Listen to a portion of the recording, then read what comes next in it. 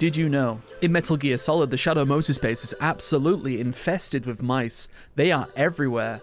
In particular, these mice where you fight Sniper Wolf for the first time. You can even practice your sniping on them if you really want to, although I don't endorse it. If you manage to hit three of them, the Colonel will call you, and he is pissed at you for goofing off when you're supposed to be saving the world.